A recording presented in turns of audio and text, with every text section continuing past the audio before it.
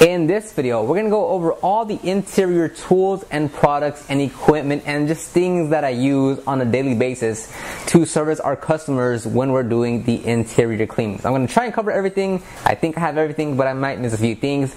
Regardless, just check the description box down below for links to all these products and tools and stuff that I'm mentioning so you can check it out and get more information about them.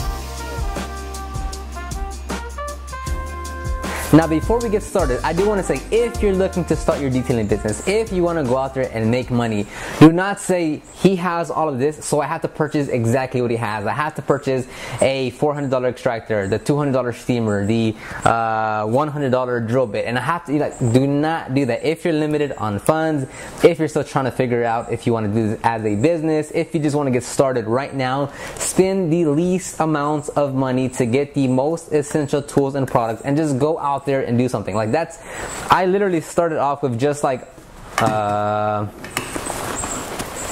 with just this brush and APC and towels. And I did full interiors like with like just like a handful of brushes. So before you start looking and you're doing hours of research and you're seeing what's the best extractor, what's the best interior towel, what's the best brushes, what's the best cleaner, stop doing all that. Just pick a handful of things, order them, and just go out and do something to actually just get the experience of actually detailing for money. Anyways, so we're gonna start off with the big items. I have the extractor and the McCulloch 1385 steamer. This Aqua Pro Vac extractor, I think I've been using it now for I think like a year, a year and a half. I've used it at a minimum 100 times across so many vehicles now. And for the price point, it's 400 bucks. It's a great deal if you're just starting off, if you're, you know, working at a personal vehicle or a small compact vehicle like I am and you don't have that much room. This is a great option because it, doesn't have a, heater to it, which I don't mind because again, I'm I like it more for the size of it, not so much of like the other features that it's missing. But uh, that's what I have. I use it on just horrendous interiors and it's worked great because it's not just about the extractor itself, it's about the extractor, right? But it's about the process, chemicals, are you inspecting, doing it multiple times. So there's plenty of things that go into this, is not the best, but for what it is, it fits me perfectly. Next, we have the McCulloch 1385 steamer. This is my second or third unit over the last I don't know, three, four years now. And I can actually purchase that one locally at Fry's, which is why I keep on using that one. They have multiple models like the uh, 1285. I have no idea. I'll just link them down below. That are che- cheaper models like the VX5000 can run circles around it. A lot of steamers can run circles around those type of steamers, but the price point, accessibility, like just starting off, it's great. Go for it. I was looking at the Vapor steamers and the uh, Dupray Dupray steamers, and I was looking at that. I think it was like a like a thousand or two thousand bucks great units absolutely would crush this steamer but you I, I couldn't get it just because of one the size it, it, it took a good portion of my interior and two um, the generator that I have I don't have enough power to generate to keep those machines running. So I stuck with the McCulloch 1385 steamer. I've been using it.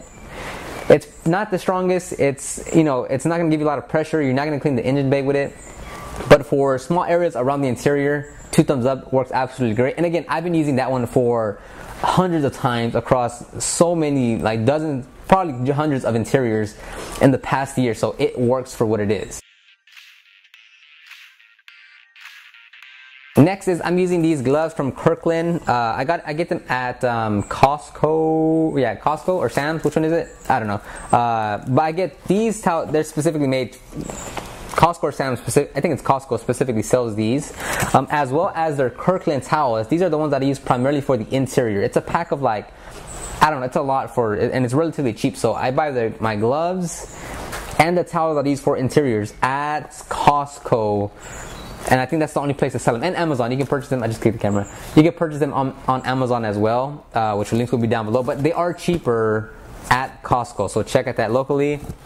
Then these are just some, uh, I think these are 8 gallon trash bags, super small. Um, I know some people take bins around. It just, that's not, I don't really find that necessary to actually bring a bin around. So just 8 gallon bags. Um, and they're the Febreze ones, so they actually smell like Febreze.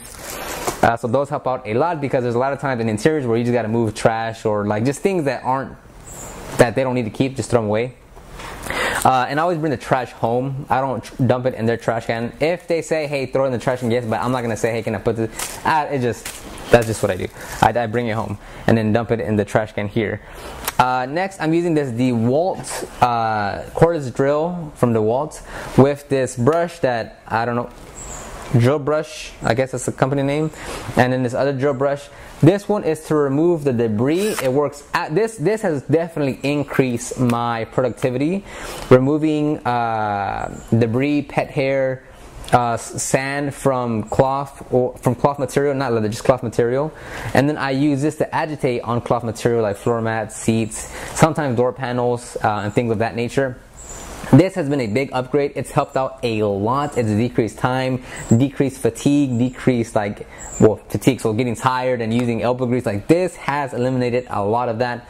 I think it's like in total, I think like 110 bucks. You buy, you buy this unit here, and I think you buy these separately. Links will be down below, but uh, 110ish bucks probably. Great, great investment for sure. Uh, and it brings and it comes with two batteries, so that's also useful, and a battery charger, so that's very useful. Um, next was we have this. These are both super clean, diluted 10 to 1. I also have a gallon in my vehicle diluted at 4 to 1 when needed. Uh, I use a pump sprayer. This one's a new one that I just bought. I have three now. Uh, this pump sprayer is from IK, IK, IK, uh, this is the IK 1.5 multi sprayer or multi 1.5 sprayer. It's not the foam one. I have the foam one, but this is not the foam one. I don't use the foam one for interior. I just use a multi 1.5 non foam for the interior. And specifically when I'm using this, I'm using it on larger areas like the floor mats, the carpeting, and the seats. Specifically, 100% of the time on cloth material. I do not use this pump sprayer at all for leather, for the dashboard, the center console, the door panels, nothing of that. For those areas, I will be using just a 32 ounce regular trigger on the door panels, center console, leather, just because that outputs a lot of liquid and I just don't need that much anywhere else aside from cloth material on large surfaces.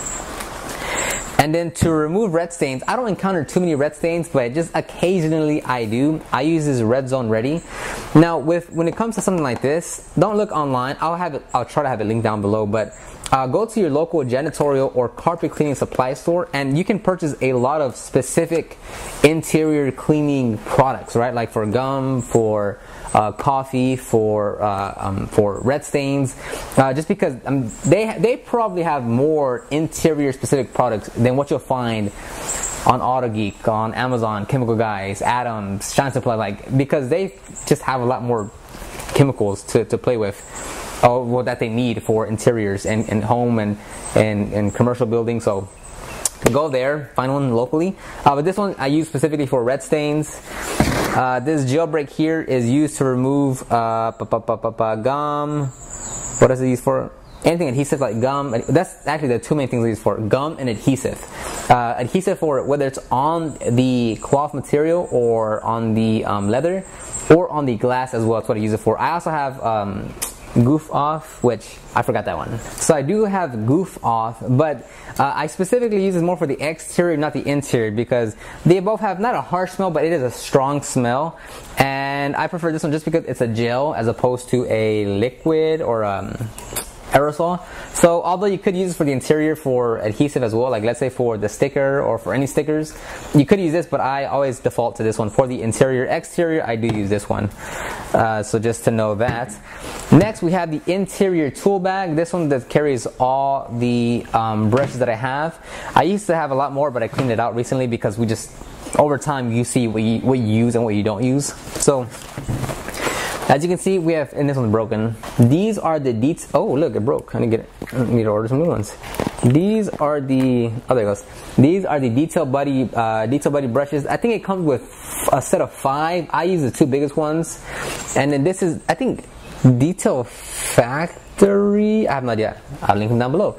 And this one just comes, also comes with four or five, but I only use the two biggest brushes because our big brush right here is used, for the, the, medium-sized ones are used to um, to agitate, right? So we spray the cleaner here into the into the brush, or we spray onto the surface, and we agitate with this brush.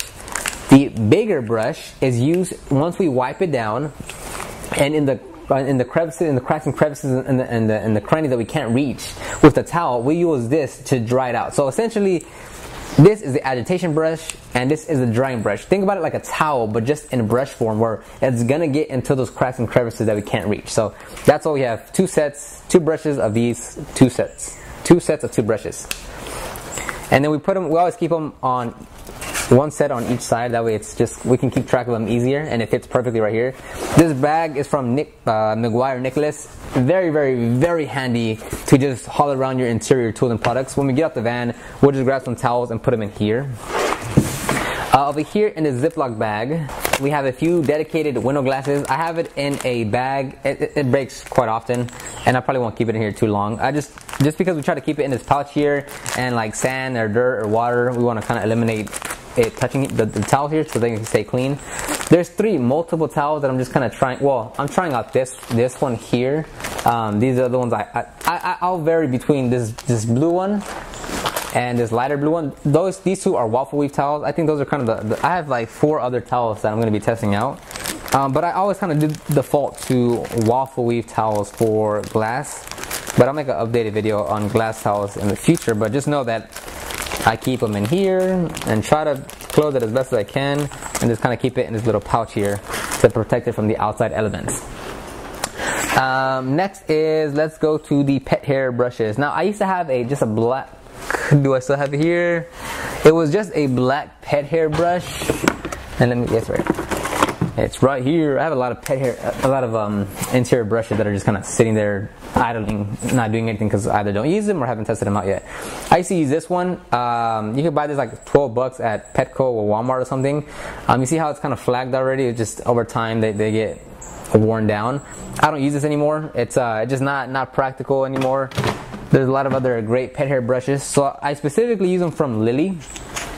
Lilly brush and they make absolutely amazing uh, amazing pet hair brushes. This one's I've kind of put my I've been using it a little bit too rough and it's ripped on me, but it's, I mean, I've been beating it up a lot, so it, there's no surprise if it's like that. But these brushes are by far one of the best pet hair brushes that I've used. All the links will be down below.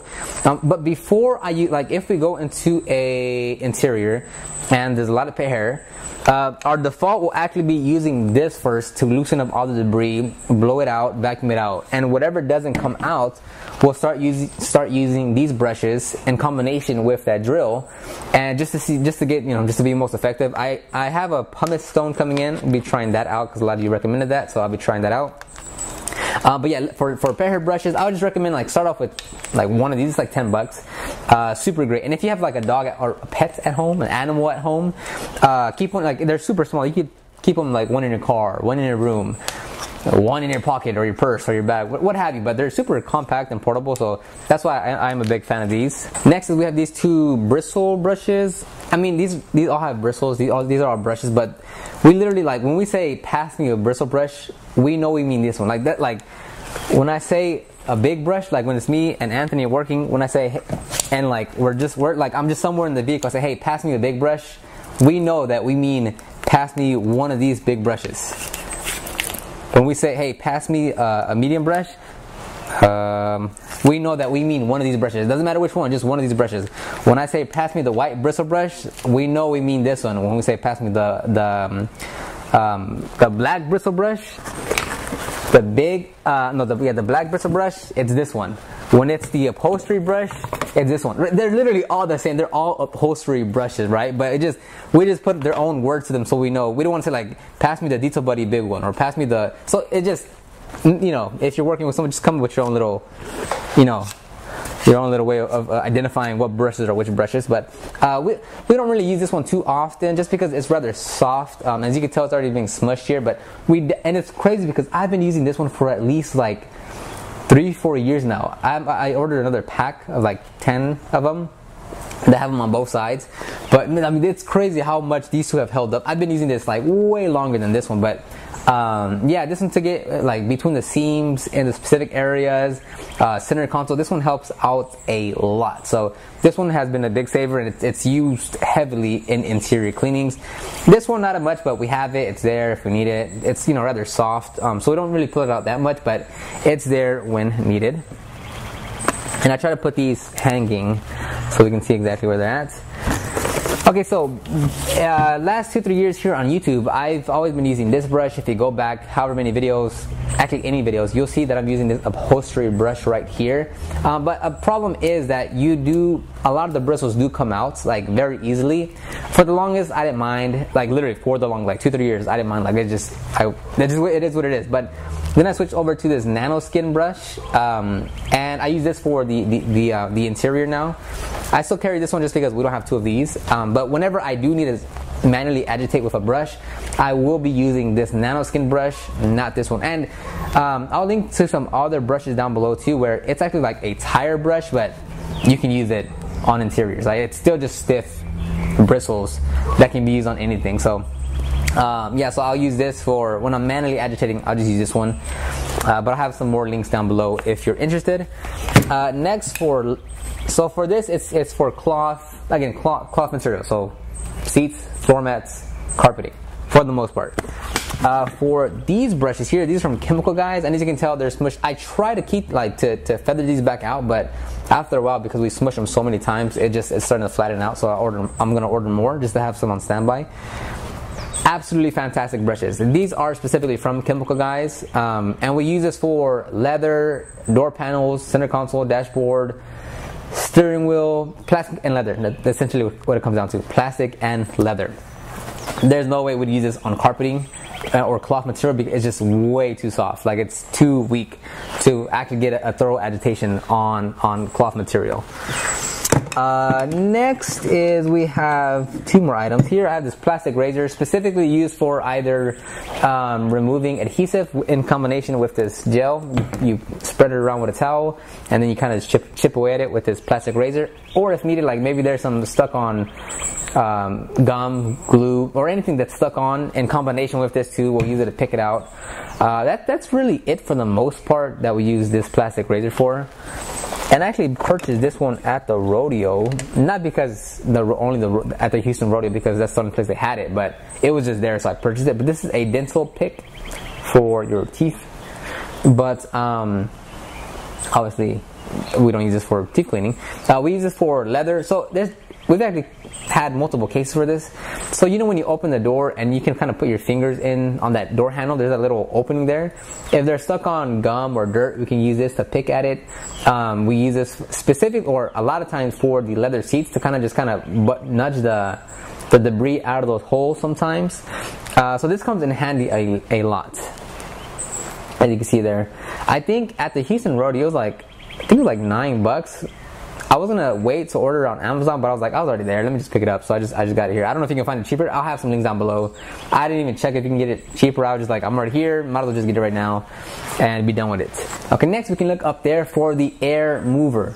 Um, I don't if it's if I see the weather, if I check the weather and it doesn't look like it's gonna be um, like there's not a lot of humidity or it's not like it's gonna be sunny or relatively sunny or warm, I won't take the air mover because we're outside 90% of the time the sun is hot enough it's the, the, the, air is cool enough to where it's just going to dry the interior on its own within a relatively short time frame like if it's relatively warm outside within four hours of the detail like we start at 9 or let's say we start yeah let's say we start at 9 and we end like at 11 12 1 by the time we're done the vehicle is 85 to 90% dry if it's relatively warm outside.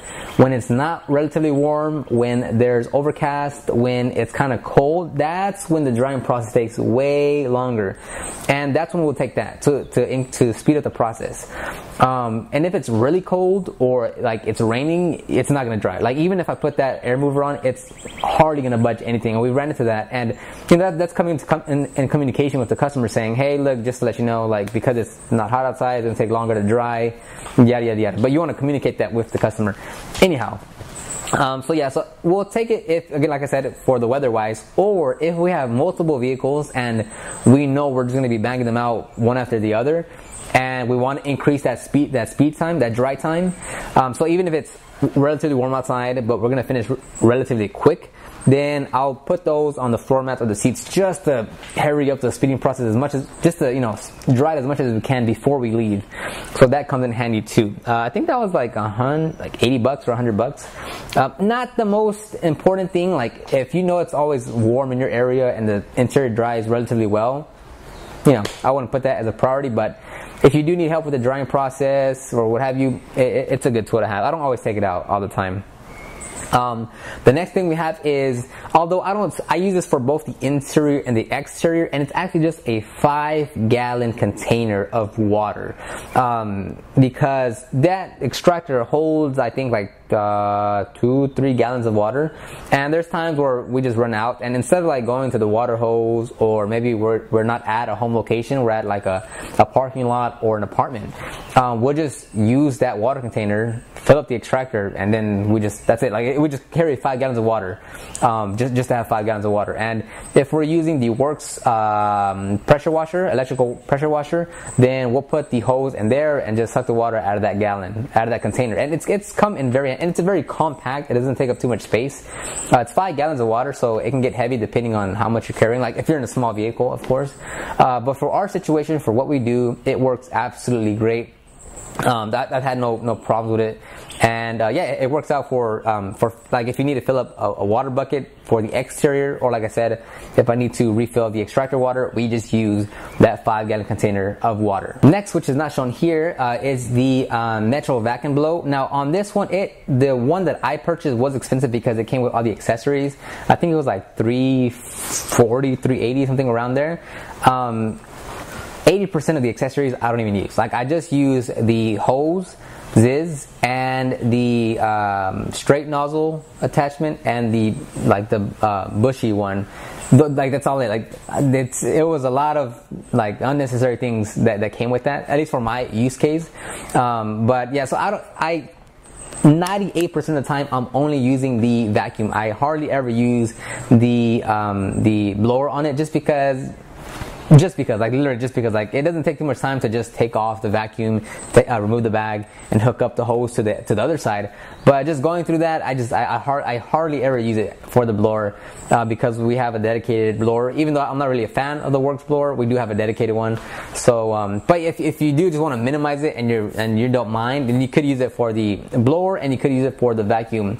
Uh, and the blower is for like you know if there's a lot of debris, pet hair, just hook it up to the blower and blow it out. And I've done it a couple times, but I just, you know, I primarily use it for the vacuum and because it's compact. And as you'll see, it's, commonality between some of these machines is that it's just, it's small, it's compact, it fits in this small van that I have. Ba-bum. Yep, I also don't have it here. For the windows, glass, last touch-ups, chrome, a little like just to touch it up, uh, we use Optimum No Rinse diluted as a clay lube, which I believe is 256 to 1 in a 32 ounce spray bottle. So that's what we use to clean the windows, glass, mirrors, chrome, door jambs. Um, yeah, and same thing. We're using. Uh, we're still going to be using the Kirkland towels, um, but just for those other areas um, that I mentioned.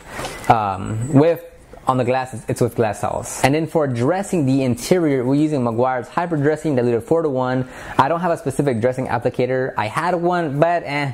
I just use a towel now, so I just spray onto either the door panel um, that's the only one where I actually spray onto the surface is the door panel. But other than that, I always spray into the towel and then distribute the, the product on whatever surface that I'm cleaning. So Meguiar's Hyper Dressing diluted 4 to 1 with a towel. I have quite a few dressings now, so I'm trying out a few.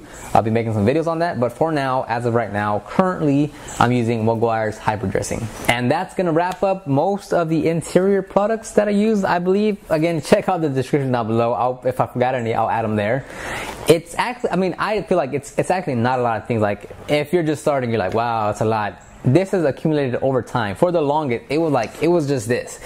Like you might be saying, oh, well, I don't have 400 bucks to spend on an extractor. Well, then don't. That's fine. Like you could spend 200 bucks getting like uh, I think like probably all of this and doing an interior plus the towels. You could probably spend 200 bucks like on the on this here like this product, this product, super clean or an APC that you can that you can dilute. These brushes, like one set of brushes, like you can spend like 200 bucks and probably get a few other things, and you're off to the races. Like you can start servicing vehicles, like you can start charging and getting results for customers. Don't think like, oh, okay, well let me work another three weeks and let me put you know 125 dollars aside on every check, and I won't be able to start until I have that extractor. No, just start off with some basic things, with the essential items, and progress as you go. Don't say, oh, well, I have to wait until I get the steamer. And oh, you know what, I can't really start because it's going to take longer if I don't have the extractor. And oh, well, I really need that drill brush because he said it makes life so much easier. And it is like, agitating manually with a brush on five seats and four floor mats is way more tough, harder, and you'll be way more fatigued than using this on five seats and four floor mats. But that doesn't mean you need to wait. Like, just go out and do it. Like, just take action and just go out there. But that's gonna wrap up this video. If you have any comments, questions, concern, feedback, leave those in the comment section down below. I'll do another video like on the paint correction or the exterior just to update it in 2019. So I'll see you on the next one.